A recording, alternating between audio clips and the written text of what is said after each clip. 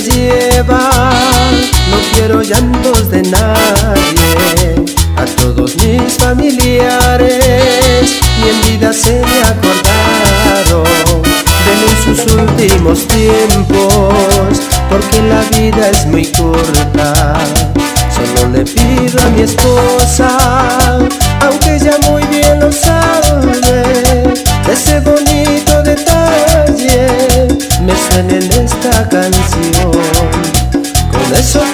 Bastante, perdón les pido a mis hijos, perdón les pido a mis padres por todo el mal que les hice.